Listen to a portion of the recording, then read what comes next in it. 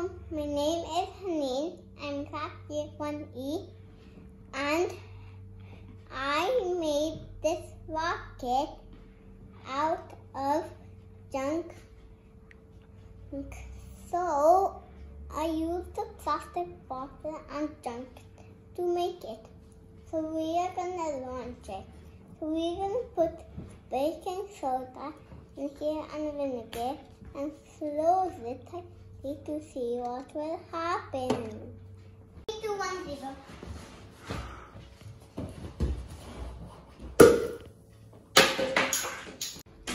Now, how did the rocket launch? Let, now I can tell the science behind it. So, when you mix, baking soda with vinegar, it became, it made carbon dioxide gas. So when you close the lid, there wasn't enough space for carbon dioxide gas. So it was pushing the lid down, which was pushing the rocket up.